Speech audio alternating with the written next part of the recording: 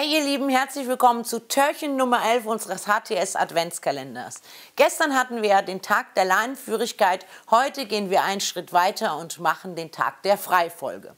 Für all die, die sagen, oh, das traue ich mir noch nicht zu, wählt einfach einen ruhigen, ablenkungsfreien Ort und alle anderen bauen es einfach in ihren Spaziergang ein.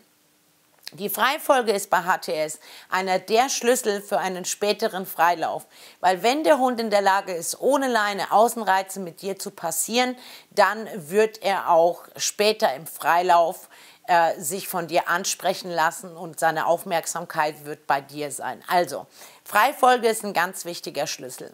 Für uns ist wichtig, dass ihr die Freifolge aus der Leinenführigkeit, aus der Bewegung der Leinenführigkeit heraus aufbaut. Das bedeutet, dass ihr zum Ableihen nicht stehen bleibt und auch nicht Sitz sagt. Warum? Das ist für die meisten Hunde, also die Kunden, die nicht HTS-Kunden sind, die haben meistens eine Leinenführigkeit und dann direkt einen Freilauf und dazu bleiben sie stehen, leinen ab, sagen Lauf. Und in diesen Fehler wollen wir den Hund gar nicht reinlaufen lassen, deswegen leinen wir in der Bewegung ab. Wenn du einen sehr kleinen Hund hast, wirst du etwas langsamer werden, aber alle anderen greifen bitte von oben einfach äh, in den Karabiner rein. Was wir dann machen, bevor wir den Hund in, den, in die Freifolge entlassen, ist der sogenannte Klick-Klack-Test. Sehr viele Hunde haben mit diesem Klacken des Karabiners verbunden ähm, Freilauf. Und deswegen testet es bitte erstmal, bevor ihr in die Freifolge geht. Ihr greift also runter und klackt nur so mit dem Karabiner. Und wenn ihr merkt, dass euer Hund Tendenzen hat, nach vorne zu laufen, weil er schon diese Verknüpfung hat, dann korrigiert dort direkt rein. Also ändert den, kommt, es kommt direkt eine Lasterskorrektur, äh, sobald der Hund denkt, aha, Klick-Klack bedeutet Freilauf. Wir müssen ihn erstmal wieder darauf einstellen, dass Klick-Klack nichts bedeutet. Also auf jeden Fall nicht nach vorne wegzulaufen. Wenn der Klick-Klack-Test gut ist, das heißt, du klackst und der Hund reagiert nicht darauf, läufst du und im Gehen leinst du ab. Dann nimmst du dir deine Leine und machst dir aus der Leine so ein kleines Knäuel.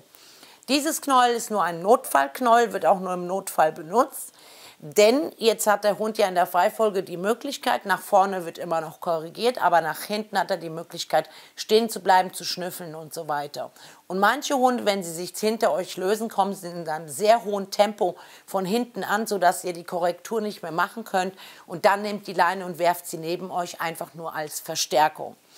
Ähm, wenn der Hund hinter dir zurückbleibt, was er ja eigentlich darf und du möchtest, dass er aufschließt, sprich ihn ganz normal an mit seinem Namen und einem Auf geht's. Wenn du das oft wiederholen musst, weil der Hund nicht reagiert, gehst du zum Hund zurück, umkreist ihn einmal und schubst ihn so ein bisschen von hinten an und sagst dazu immer wieder Auf geht's. Äh, die meisten Hunde nach zwei, dreimal wissen dann schon, aha, ich höre das Wort Auf geht's und das heißt wieder aufschließen. Genau, und so läufst du mit deinem Hund in Freifolge nach vorne. Der Raum darf immer noch nicht betreten werden. Und du kannst dir heute selbst aussuchen, ob du das direkt schon mit Ablenkung oder erstmal ohne Ablenkung machen möchtest. Denn die Freifolge, wie gesagt, ist die ähm, Voraussetzung für den späteren Freilauf. Ich wünsche euch viel Spaß.